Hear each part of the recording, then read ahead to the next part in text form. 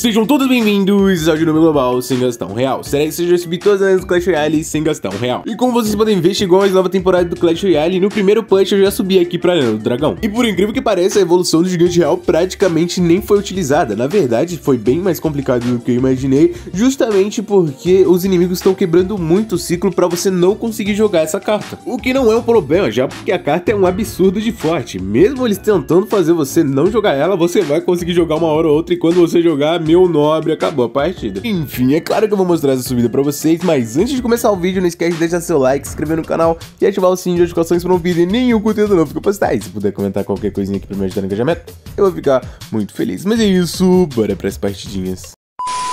São 11h30, então acho que eu já posso usar desse palavreado. Vocês me desculpem, mas ele pipocou, ele é um bananão. pegar minha marreta!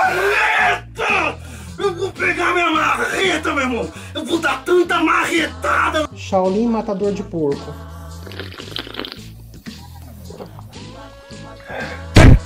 Tropa do Cordão.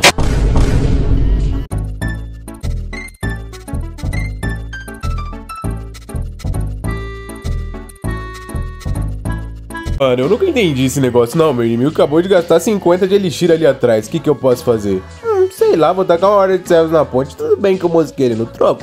Mosquei, mas aí acontece, né? O problema desse cara é que ele tá usando muito o exército de esqueleto de muleta, porque como vocês viram ali, ele atacou como se nada tivesse acontecido, só atacou o exército pra defender. Mas no dia que ele pegar uma evolução, o que, que será que vai acontecer? Vamos ver. Tropa do Cordão. Ah, meu pai do céu. Uh, que vacilo. Não, não, não.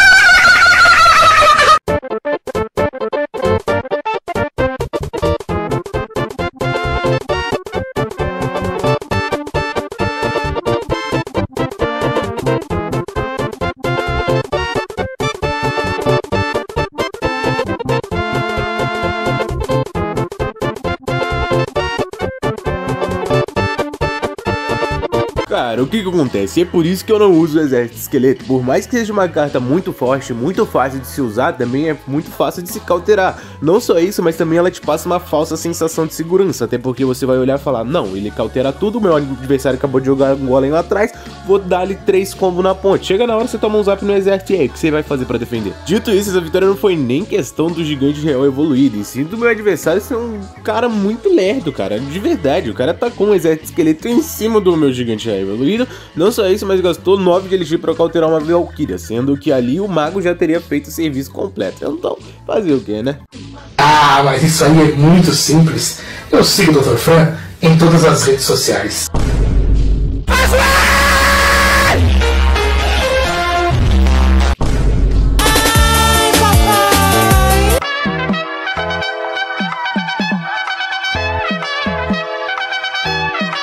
pensar no seguinte, hoje é dia 3. Se eu nasci em novembro, isso quer dizer que eu não nasci ontem. Porque, pô, pelo amor de Deus, tu não vai me meter um barulho de elite assim seco de graça na ponte, né, meu nobre? Esse deck não tá fazendo sentido na minha cabeça, mas talvez seja só um spam normal e eu tô procurando sentido onde não tem. Tropa do Cordão.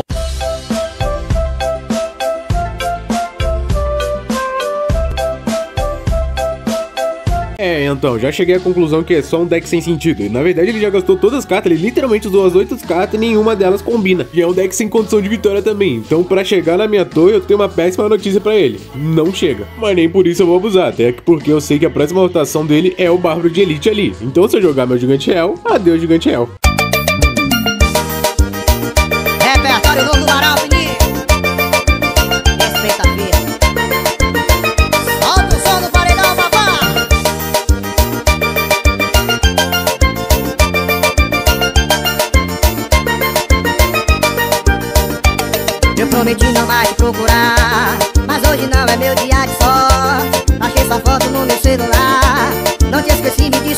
Não sei por que a bandida simplesmente decidiu ir direto pra torre, mas acabou que ela foi. Se eu fosse ela, teria batido ali no canhão, não me dado dano na torre, eu tava tranquilo. Acabou que ela refutou tudo que eu disse. Mas deixando tudo isso de lado, é o que eu sempre falo aqui. Condição de vitória é essencial pro deck. O cara não tinha uma condição de vitória, não tinha um feitiço de dano forte, não tinha nada que pudesse fazer ele ir pra minha torre. Por mais que a Valkyrie e os Bárbaros de Elite ali juntos seja uma combinação bem forte, um relâmpagozinho acaba com os três. É só jogar os esqueletos ali pra distrair e acabou. Eu saio na vantagem, LX, defendo fácil e ainda armo contra-ataque.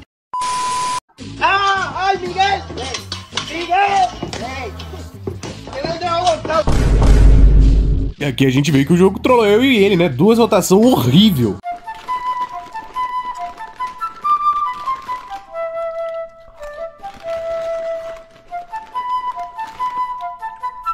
Acho que depois da defesa maravilhosa desse cara aqui, não fica nenhuma dúvida que é deck de balão, né? Eu espero pelo menos que não tenha ficado. Aliás, ele gasta bastante elixir pra defender, né? Hum... Tropa do gordão. Talvez ele não tenha gastado tanto elixir como eu pensei, né? Tem às vezes a vida dá dessas. Veja, é o segundo zap que eu tomo na minha mosquiteira e eu não tô entendendo nada. Tipo assim, eu acho que esse cara ensina zap na Pro League, porque ele, esse, aqui, esse aqui foi super necessário. Luz estão piscando, jukebox tocando Amado Batista e o pau tá quebrando Tô com a leve impressão que eu vou tomar um cachaceiro com balão já já, mas não vou dar a chance desse cara fazer isso não. Meu parceiro branco, meu parceiro Diquinho, liga vitória Rasga aí no paredão, hein? Isso é pra nós. Se olhar não nega quando a gente se encontra Você fica tensa, se entrega sem querer. Sempre não fala nada, mas eu sei que quer conversar Se quer saber, eu vou dizer. Você tá beijando uma boca O cara deixou claro o deck dele lá pelas insígnias, então eu só pensei o seguinte, se ele tá com um deck tão forte, é um deck pesado, o combo dele custa 7 mais 5 mais 4, que seria um lenhador, balão e o Mega Cavaleiro. É só não deixar ele juntar Elixir. E como meu deck é um ciclo rápido de gigante real, não tem como você ignorar como se fosse um quebra-muro, um barril de goblins, ou até mesmo o corredor. Dá pra dar uma ignorada no corredor de vez em quando, né? Pelo amor de Deus. Mas se você ignorar um gigante real, meu nobre, sua torre vai de F. Isso que ele tava tendo que fazer, gastar Tesla, gastar Tornado, gastar tudo e o lenhador juntos. Então ele ficava sem Elixir pro meu próximo gigante real, que daí ele teria que escupar uma carta pra defender. Ou seja, o que aprendemos com isso é, nunca deixe seu deck claro nas suas insígnias. Você já entra em desvantagem, filho. Não é assim que funciona.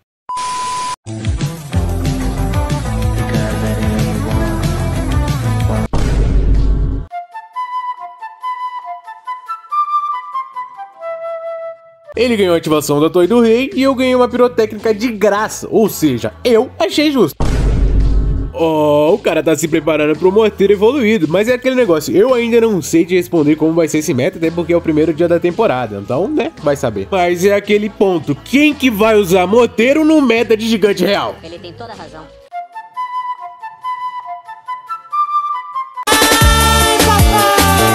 O cara simplesmente tentou dar um predict de tronco num carrinho de canhão.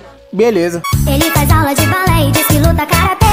Besteira, pra que esconder? Um dia vai vazar. Eu posso estar ficando louco, mas é impressão minha? Ou nos últimos dois vídeos teve seis usuários de Bárbaro de Elite? Tá ficando complicado, hein, meu nobre? Tropa do gordão. Tropa do gordão.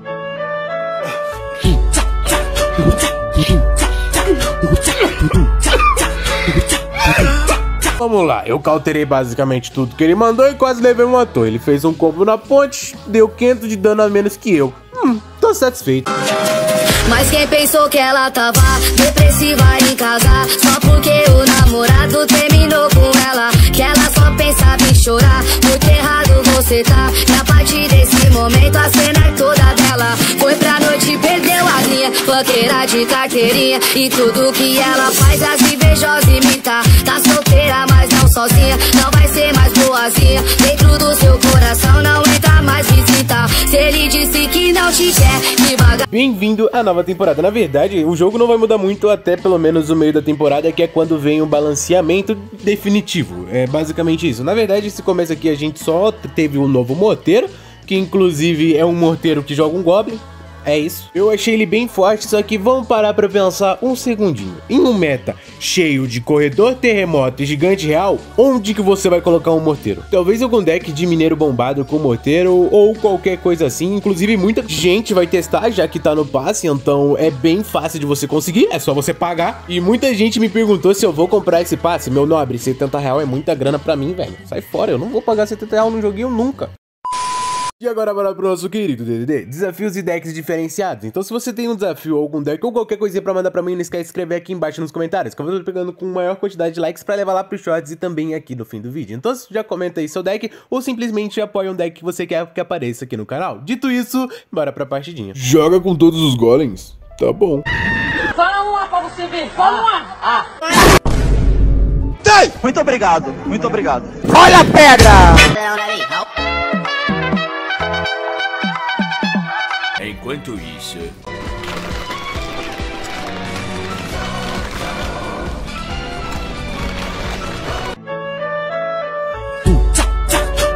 Olha a pedra! Sabe o que é? Minha torre tá sofrendo demais. E eu já sei o que fazer pra virar essa partida. Eu sou obcecada, eu sei. Mas obcecada por tu. Você não me ama, meu bem. Mas pra te stalkear eu fiz um. ah, fiz um fake amor, fiz um fake amor pra tu. Pra te stalkear. De tanto que eu te quero. Você não vai notar. Sei que é obsessão. Uh, fiz um fake amor, fiz um fake amor pra tu. Fiz um fake amor, fiz um fake amor pra tu. É, achei fácil. E esse foi o vídeo de hoje, espero muito que vocês tenham gostado. Se gostaram, não esquece de deixar seu like, se inscrever no canal e ativar o sininho de notificações para não perder nenhum conteúdo novo que eu postar. E se puder comentar qualquer coisinha aqui para me ajudar no engajamento, eu vou ficar muito feliz. Mas é isso, um forte abraço e até o próximo vídeo.